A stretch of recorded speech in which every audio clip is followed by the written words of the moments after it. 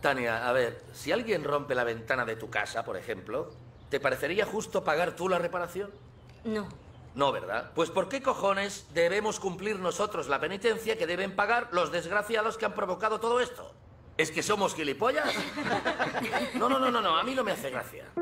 Nuestra sociedad es la escalera de un edificio, con ventanas aquí y allí para que entre el sol e ilumine a todas las vecinas y vecinos.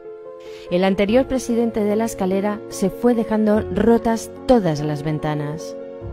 Como el sol seguía saliendo, nunca nos preocupó.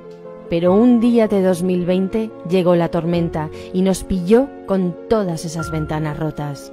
Ahora tenemos que pagar la reparación, nosotras y nosotros, no quienes las rompieron. Quienes las rompieron, de hecho, se lavan las manos, como si no fueran ellos los responsables de años y años de recortes y privatizaciones.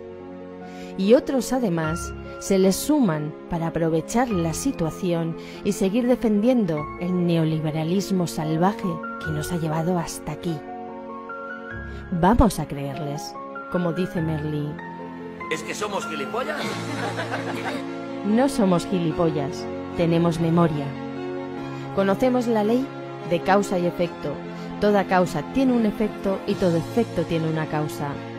La derecha neoliberal lleva años defendiendo las bondades de un capitalismo de amiguetes que solo te favorece si tienes dinero, defendiendo las empresas privadas que ahora piden a ese Estado que odian ser rescatadas.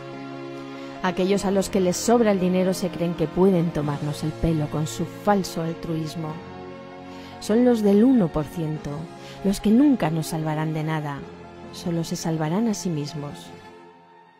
Pero nosotras y nosotros creemos que solo con la solidaridad nos vamos a salvar.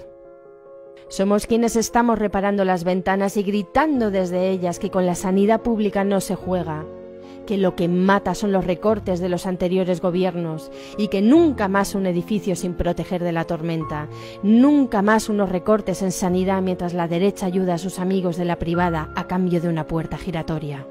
Toda causa tiene un efecto y todo efecto tiene una causa.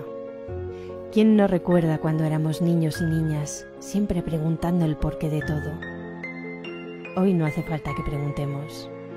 Sabemos los efectos, que las crisis las pagamos siempre quienes estamos abajo. Sabemos las causas, que a quienes están arriba no les importamos con tal de que puedan vivir mejor a nuestra costa y defender sus intereses económicos. Lo único que pedimos son unos servicios públicos de calidad fuera de las garras del negocio privado. Vamos a salir de esta tormenta y vamos a hacerlo habiendo aprendido una importante lección.